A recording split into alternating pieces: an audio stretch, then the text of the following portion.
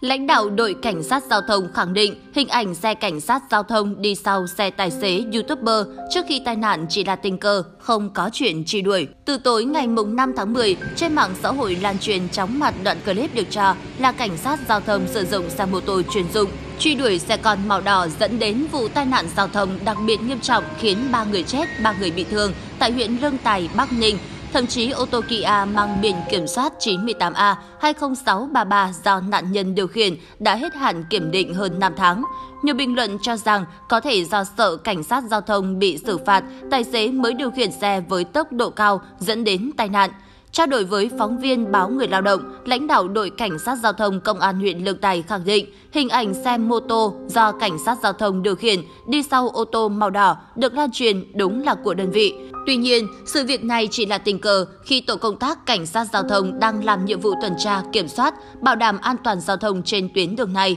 Thời điểm này, chiến sĩ cảnh sát giao thông đang đi làm nhiệm vụ được giao, không có chuyện truy đuổi hay đi theo chiếc ô tô trên. Thời điểm chiếc xe xảy ra tai nạn giao thông, tổ công tác cảnh sát giao thông không có mặt tại hiện trường, không chứng kiến vụ việc này. Trước đó, vụ tai nạn xảy ra vào lúc 14 giờ 20 ngày mùng 4 tháng 10 tại tỉnh lộ 285 thuộc địa bàn giáp danh với xã Trung Chính và thị trấn Thứa, huyện Lương Tài, tỉnh Bắc Ninh. Hai nạn nhân tử vong tại chỗ bao gồm Nguyễn Văn Nam, 21 tuổi, quê tại Tân Yên, Bắc Giang, Nguyễn Thị Hát quê tại Yên Dũng, Bắc Giang, nạn nhân Lê Văn Thờ, 21 tuổi, quê tại Phượng Sơn, Lục Ngạn, Bắc Giang, tử vong trên đường đi cấp cứu. Vụ việc còn khiến ba người khác bị thương bao gồm Đào Đức Quy, 21 tuổi, quê tại Nam Định, Đặng Tuấn Mơ, 23 tuổi, quê tại Lục Ngạn, Bắc Giang, Nguyễn Gia Hát, 26 tuổi, quê tại Gia Bình, Bắc Ninh. Được biết, nạn nhân có tên Nam, có biệt danh là Nam Ok, là một YouTuber, TikToker khá nổi tiếng trên YouTube Duy Thường TV với hàng triệu lượt đăng ký, đông đảo thanh thiếu niên theo dõi.